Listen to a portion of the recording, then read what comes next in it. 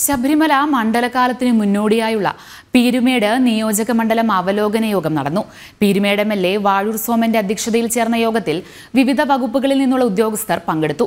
വിവിധ ഇടത്താവളങ്ങളിൽ തീർത്ഥാടകർക്ക് കുടിവെള്ളം ലഭ്യമാക്കുകയും റോഡ് ഉൾപ്പെടെയുള്ള ആവശ്യ സൗകര്യങ്ങൾ ഉറപ്പാക്കുകയുമാണ് യോഗത്തിന്റെ അജണ്ട. സൗകര്യങ്ങൾ അടിയന്തരമായി ഒരുക്കാൻ യോഗം തീരുമാനിച്ചു.